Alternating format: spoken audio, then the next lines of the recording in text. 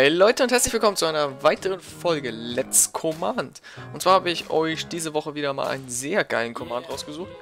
Und zwar, wie im äh, Thumbnail oder, oder und im Titel sehen könnt, geht es heute um Minions. Ich denke, ihr kennt Minions. Also, wenn man ein normaler Mensch ist, kann man nicht, nicht wissen, was Minions sind, weil man die andauernd irgendwo sieht. Auf jeden Fall sind es so kleine gelbe Männer, äh, Männchen aus dem Film äh, Ich Unverbesserlich. Und da gibt es auch einen eigenen Film von denen. Und zwar, ja, äh, letzte Woche kam kein Video, weil es waren Ferien in Bayern, es war schönes Wetter und irgendwie hatte ich keinen Bock aufzunehmen. Dann hatte ich auch keine, nicht wirklich Zeit und ja, jetzt kommt halt wieder jetzt die Woche eins. Auch wieder verspätet, weil ich am Dienstag keine Zeit hatte zum Aufnehmen.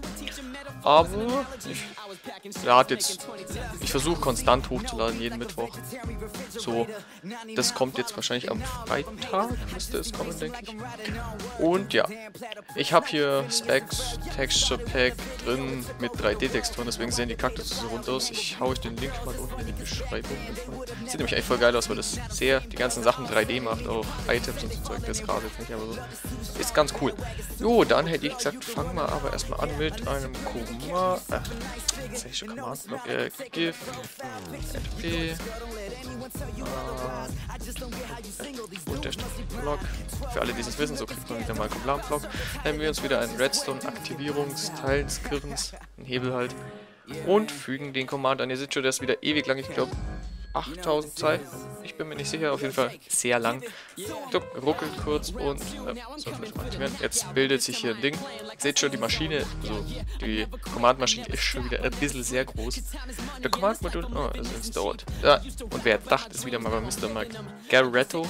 Ich muss sagen, der Typ macht sehr geile Commands und vor allem hat der auch so viele und macht so viele und ist kreativ, der Typ, muss ich sagen.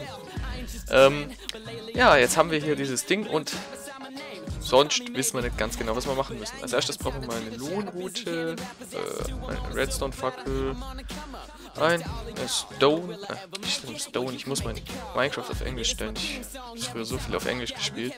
Gar keine Ahnung mehr, wie das auf Deutsch heißt. Einen Zaun. Die vier Teile brauchen wir jetzt, um unsere Minions zu machen. Als erstes müssen wir erstmal unseren Zaun hinschmeißen und unseren äh, unsere Stone Slab und dann kriegen wir einen Mini Armor Stand raus. Wenn wir den platzieren, ist er so groß. Normalerweise hat man nur einen, der verschwindet dann bei der Credit. Dann nehmen wir noch unsere Redstone Fackel und unsere Lohnroute und jetzt haben wir einen Minion Staff. Den schmeißen wir jetzt auf den Baby Rüstung Ständer Dings und boom, wird ein Minion raus. Und manchmal versch... Ja, weil der Typ... Und das gerade irritiert. Das weil normalerweise öffnet sich jetzt sein Inventar. Aber ich weiß nicht, vielleicht geht es auch nur im Silber. Nein, irgendwie nicht. Ich bin sehr irritiert, weil normalerweise müsste sich sein Inventar öffnen, sobald wir reingehen. Aber das tut es nicht. Ich glaube, der verarscht mich. Willst du mich verarschen? Naja, jetzt haben wir beides wieder bekommen. Stellen schon hin. Werfen das Ding rein. Normalerweise droppt der das Teil. Du musst schnell hinrennen, weil das, der Typ hebt es auf. Normalerweise öffnet es sein... Ah, jetzt. Jetzt. Und dann kriegt man sein Mini... Äh, May... Ich hab so mit Deutsch gerade echt. Minion Staff. Seht schon, das ist Minion. Kopf und halt blaue Rüstung. Und wenn wir jetzt zum Beispiel, seine erste Fähigkeit ist, wenn wir jetzt rechts, wir müssen immer rechtsklicken mit dem Teil vom Boden machen, dann steht Follow You. Heißt, der Typ folgt mir jetzt, wohin ich will. Und hüpft auch hoch äh, Blöcke und so, also er kann auch hüpfen. Sieht echt süß aus.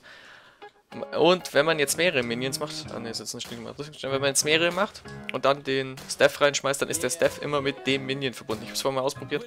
Das funktioniert dann immer nur mit dem Staff bei dem Minion. Muss man halt wissen, welcher welcher ist. Vielleicht kann man die umbenennen, aber ich weiß nicht, ob es dann noch funktioniert. Auf jeden Fall ist das jetzt ganz cool. Er läuft dann, dann hinterher. Wenn man dann nochmal rechtsklicken macht, dann folgt er dir und hebt die Sachen auf, die du hinschmeißt. Weil vorher hebt er die nicht auf, wenn du sie jetzt hinschmeißt. Du habt ihr gesehen, hat aufgehoben. Wenn wir jetzt hier mal hingehen.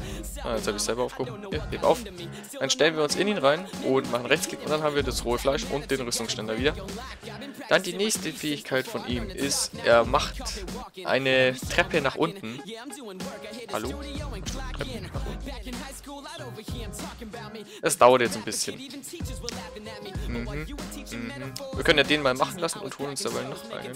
Wieder schnell Game Mode. Nein. Eins. So. Äh, bl wieder eine Red Redstone-Fackel. Äh, Stein. Stein. Stufen. Ich hasse es auf Deutsch. Das ist eine Lohenroute und äh, einen Zaun. So, so, so, so, wieder Minion-Dings. Dann so, so. Den da. Äh, das, welcher war jetzt der da? Kommt schon, ja. Machen wir den Follow. Oder geht es jetzt beide? Nee. Follow you und pick up items. Und äh, Dick, nope. Und jetzt Pickup-Items. Heißt, er steht da. Und wenn ich zum Beispiel das Fleisch reinschmeiße, dann ist der wie ein Trichter. Also der ist wie ein Trichter, nimmt einfach die Teile auf, muss man sich wieder in ihn reinstellen. Und warten, bis er das öffnet. Oder weil es auch nicht geht, weil der Typ in Blöcken steht. So. Hallo? Oder auch nicht, brauche ich den Minions dafür? Nein. Er verarscht uns. Also die Minions, entweder sie sind verbuggt. Okay. Also letztes Mal hat er eine Treppe nach unten gebaut. Ich weiß nicht, was er jetzt macht. Aber egal. Ganz schnell Müll halten da. Halt. So. Gehen wir mal zu dem, der runter geht. Er macht sowas wie eine Treppe, aber erst ab hier. Wieso ist das? Egal.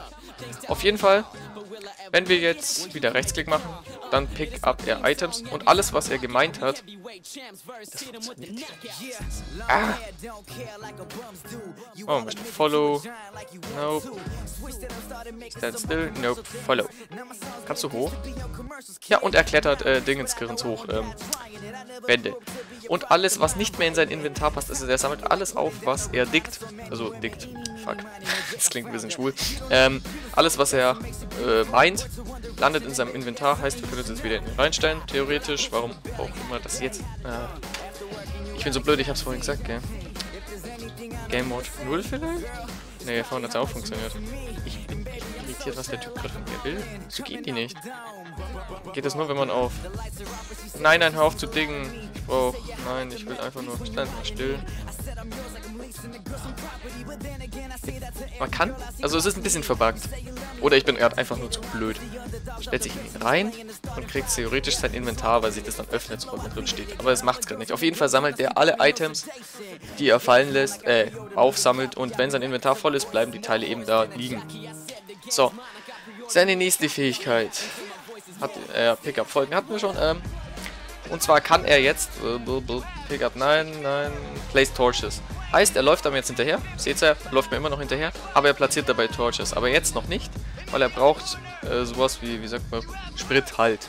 Aber in dem Fall halt Kohle. Kohle, Kohle, wo war Kohle? Ich habe schon wieder keine Ahnung. Echt.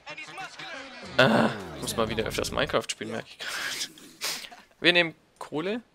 Und zwar ist bei ihm wenn man ihm eine Kohle gibt, sind es vier Fackeln. Eine Kohle ist vier Fackeln, also wie man es jetzt mit Sticks, Stickies craften würde. Und dann hat er vier Fackeln und dann läuft er dir hinterher und platziert in einem, wenn in einem Radius von sechs Blöcken um ihn herum keine Fackeln mehr sind, dann platziert er wieder eine. Und das ist verdammt praktisch, wenn man jetzt zum Beispiel in einer Höhle ist, gerade meint und dann einfach mal Licht braucht. Ich habe jetzt bloß hier gerade keine Höhle, außer das, was der da vorne gemacht hat. Und dann kann man den hier einfach ein paar Fackeln platzieren lassen. Das ist super praktisch, allein schon, weil es nur Kohle kostet. Sparen wir sich mal die Stickies. Man muss nicht selber platzieren. Ah, da ist eine Höhle. Und rein da. Na super. Man sieht halt den Namen, dann weiß man, wo sie stehen. Wo ist er jetzt? Mal rein. Ja, der fliegt auch so runter wie so ein Huhn, wenn er nicht kaputt geht. So, wo wollen wir denn rein? Da wollen wir lang. Komm jetzt mit. Bestimmt. Ja, ich habe dem aber schon genug Torches gegeben. Ja, nee, anscheinend nicht. Auf jeden Fall, seht ihr, er platziert jetzt äh, Fackeln.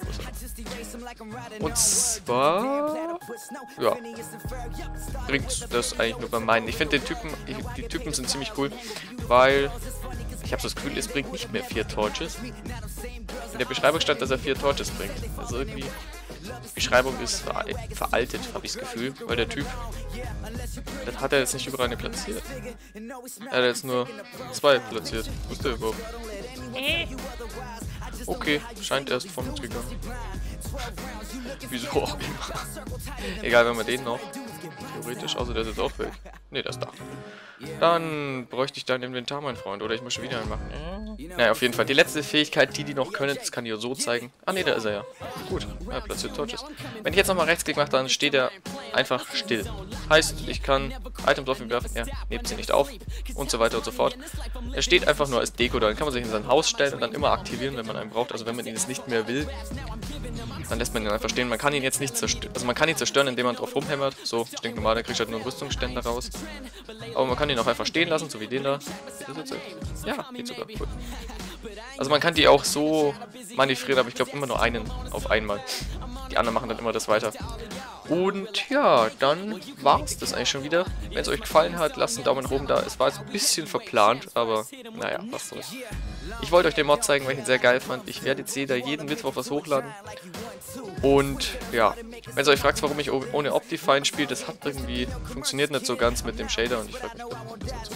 Es hat irgendwie seit der neuesten Version irgendwie einen Bug mit dem Shader und das funktioniert dann mit alten, älteren und ich kapiere es irgendwie nicht, warum. Auf jeden Fall ist dann die ganze Schrift im Menü und alles aus Lava und Wasser und äh, da kann man nicht so viel mitmachen. Also bei Craften Terminal, ich mach's bei Craften Terminal. Der Link ist auch wieder in der Beschreibung. Und leck mich am Arsch, ich will keine Nacht. Ähm, ja, wenn ihr den sieht wollt, mal, das ist jetzt nicht so spannend. Hier ist eigentlich nichts Großartiges. Aber sieht nicht so aus, als wäre hier irgendwas Spannendes, außer eine coole Wüstenlandschaft. Oh, das Biom ist geil. Uh, sieht nicht so aus, als wäre hier noch irgendwo ein Dorf oder so. Oh, sieht ganz cool aus. Äh, wenn ihr den sieht wollt, slash sieht, dann habt ihr den. Da ist der sieht. Ich hau euch auch noch in die Beschreibung. Und dann, wenn es euch gefallen hat, lasst einen Daumen nach oben da oder ein Abo. Ich würde mich sehr freuen, wenn ihr öfters auf meinem Kanal vorbeischauen würdet. Und dann bis zum nächsten Mal.